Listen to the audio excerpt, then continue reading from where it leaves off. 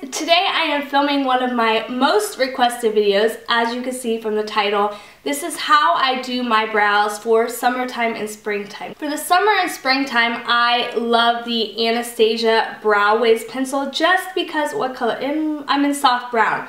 Um, just because I find that the pencil is a little softer and it's better to wear when I live in a place that is super duper hot and you are sweating all the time and I just find that it holds up better than the um, dip brow which I use during the fall and winter. Now I wanted to show you guys before I get started because I don't want to ramble too long um, but I want to show you ahead of time I let's see where okay so before I actually do my brows, about I'd say once a week I go in with the spoolie that comes with the pencil.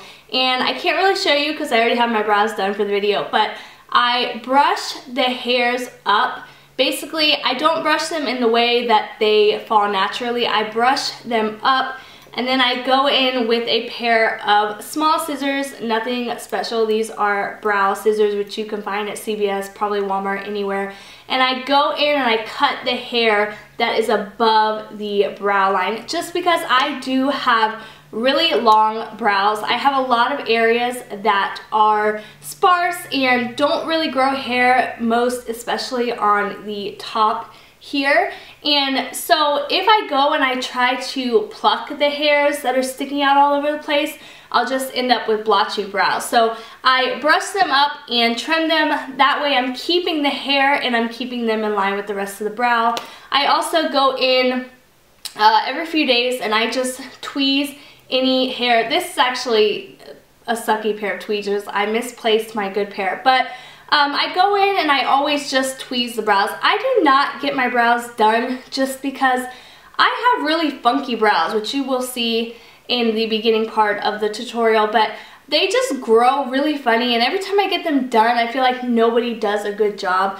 So I do them myself and what I will do is go in with like, I might take a gel uh, liner or just something that is super dark and I will kind of carve out what I want my brow to look like. So I'll draw in super intense fake brows and then I'll just tweeze anything that is on the outside of that. Um, I think that is all I have to talk about. You're going to see everything that I use, everything that I do. Uh, please keep in mind I am not a makeup artist. I don't claim to be. I don't even claim to do amazing makeup. This is just what works for me. I feel like the brows frame the face and if you do a full face of makeup and you don't do your brows, it just doesn't really come together all that well. So the brows, it just makes everything work. So I hope you guys enjoyed this video and let's jump into the tutorial. Okay, so I have my pencil and the first thing that I'm going to do, I'm going to start on the bottom of my eyebrow. I just find that that works best for me because that's where I want the most definition. But I'm going to go in and I'm going to take it with a super, super duper light hand and go in and do it in small strokes. I feel like I can't talk while I'm doing this. I'm to do it in really small strokes just like how the hair would naturally grow in. You don't want to just take it and do a line and make it look super unnatural. So I'm to do that. Like I am barely touching the pencil to the skin at all because I want this area over here to be natural. Then what I'm going to do is I am going to take and kind of box off this area a little bit. And again, I'm gonna go in the direction that the hair naturally grows. So over towards the inside of my brow, it grows more up as opposed to over. So I'm gonna draw it more up.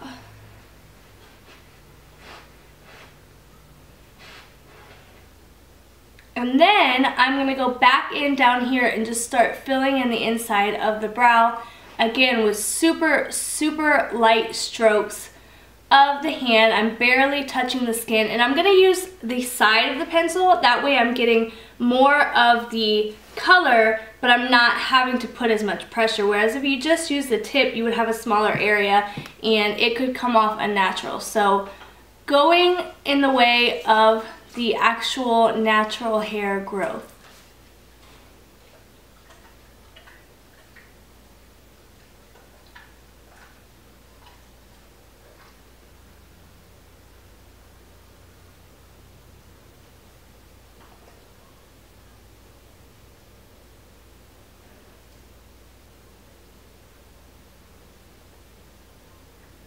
Now, once I have completed that inside section, you can choose, I mean, you can basically do it whatever way you want. And honestly, every time I do my brows, I do it a different way. But right now, I'm just gonna continue going in towards the bottom. And as I get to the center of the brow where you have the highest arch, I'm gonna start applying more pressure. Not a whole lot, I don't want it to like be, oh, super light and then crazy dramatic but I am gonna go in and make it a little darker just because that area of the brow does have more hair, so for it to be darker is natural. There is more density of the hair. So applying a little more pressure with the tip of the pencil, not the side of it.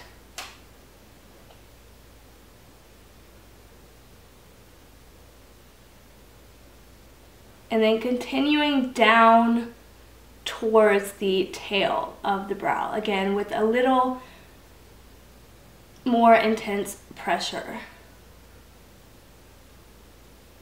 I also forgot to mention that before I started with my brows, I combed it out just to get everything kind of in the natural um, way that it is supposed to go. And also I treat my brush of my brow pencil like a blending brush. As much as you blend your eyeshadow, you want to blend your brows. So the bottom is pretty much done for now.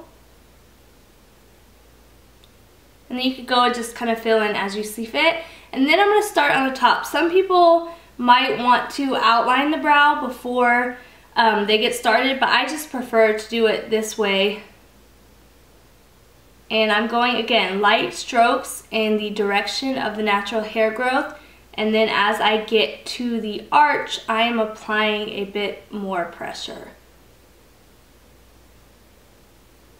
I want this area to be defined and look natural.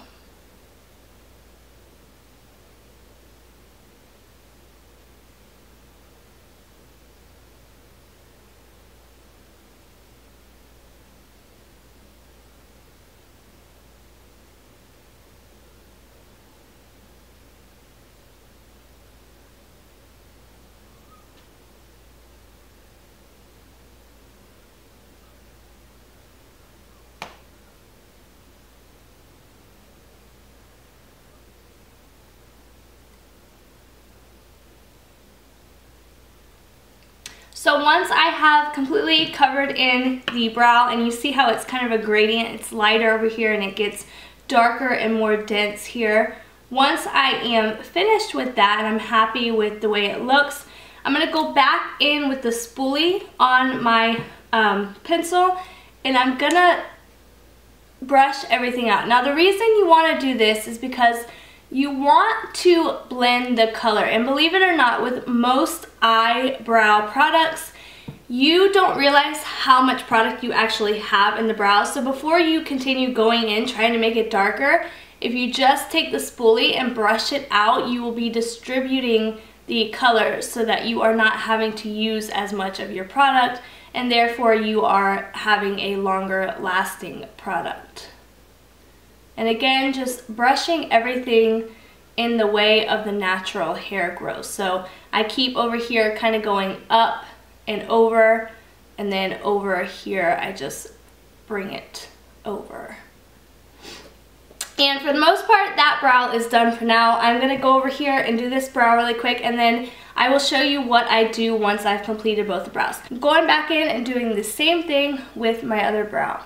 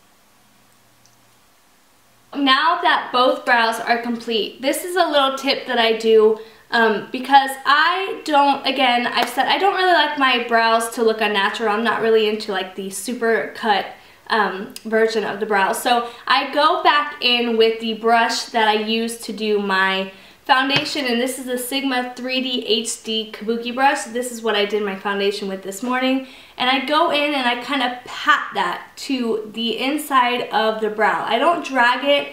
Basically, I'm just helping to what would you say, like dilute the color a bit just so that it is a little more natural looking and it doesn't look like, hey, I have a pencil on my face. So it's not a big step, but it's an important one for me. Then once I'm done with that, I go in with any concealer. Right now I just have the Maybelline Instant Age Rewind on hand. And I go in and I define the bottom of my brow. This also helps in case you make any errors or you applied pencil where you didn't want it, you can go and clean it up and basically make the shape how you want it to look. So I apply that to make the bottom look sharp, look defined, and then I blend that out. I'm using, this is a vegan cruelty-free um, makeup brush from 100% Pure, who I love.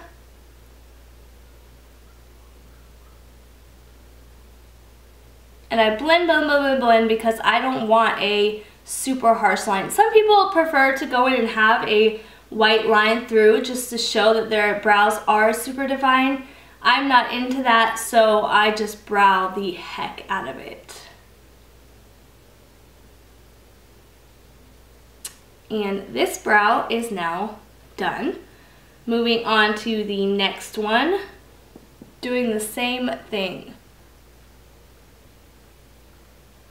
And again, I kind of just do small strokes so that I'm not like making an, I'm making an error. You just gotta do what's comfortable for you. Like I said, I never claim to be a makeup artist. I just do what I find works for me the best in my day-to-day -day life.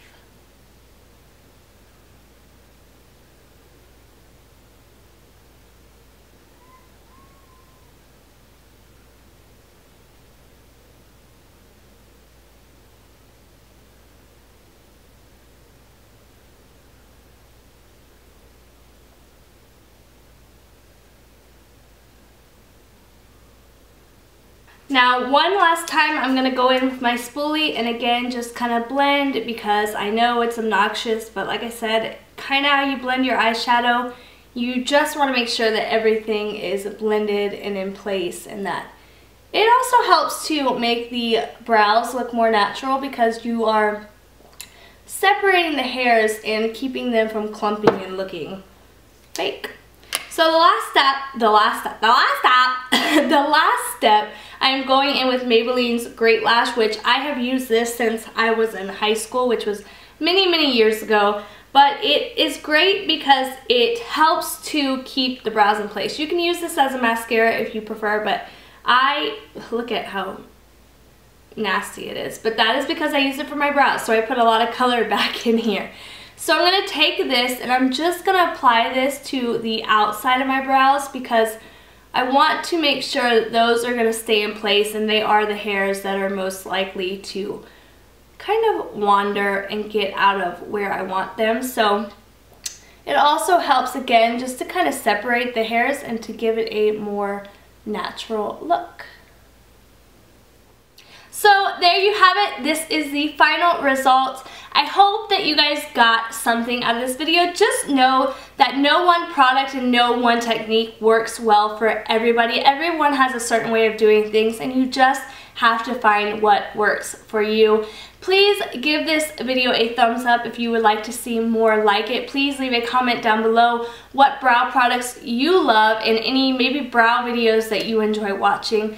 And until the next one, I will see you guys later. Bye.